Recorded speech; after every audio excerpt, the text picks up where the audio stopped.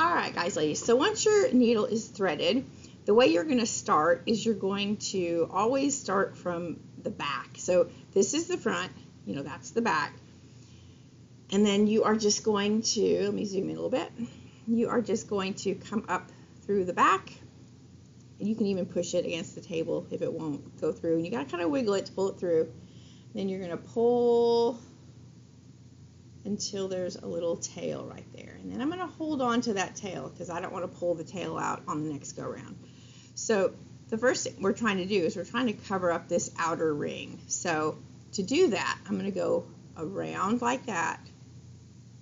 Okay. And then I'm going to go back through the back again. I'm going to come from back to front. And I'm going to pull that through just like that. Okay. Let me zoom in a little more. So there's there's two right there. So and I'm still holding that little tail in the back. So then I'm going to go around to the back again. Pull the needle through. I'm going to pull till I run out. Oops, get back over there. Just like that. I'm going to go around to the back again. Pull it through. Okay.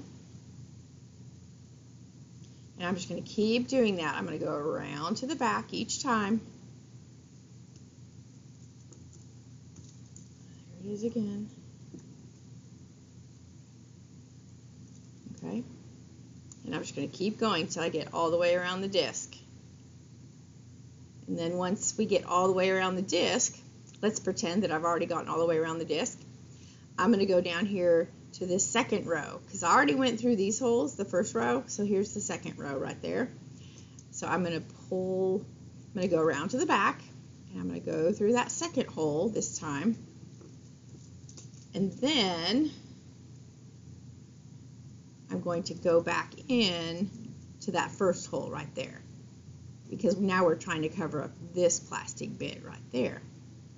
So push through there. I'm going to pull and then see how it fills that in and now you can't see that plastic bit.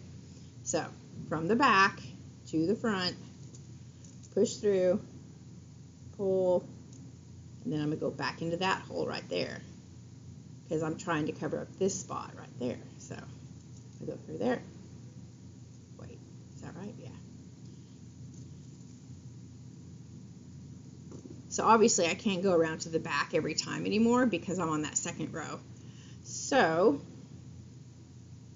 because I'm trying to cover that up, I've got to come out from the back and then go in right there.